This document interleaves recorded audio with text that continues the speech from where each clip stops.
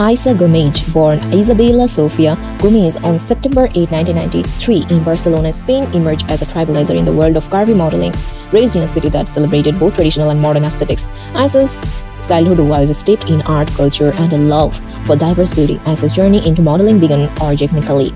Pursuing a degree in art history at the University of Barcelona, she discovered a passion for expressing herself through fashion.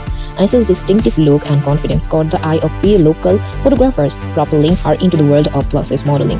Her Instagram at the rate of Isa Gomez Curves quickly became a platform for her to share her unique style, challenging societal norms and inspiring others to embrace their curves.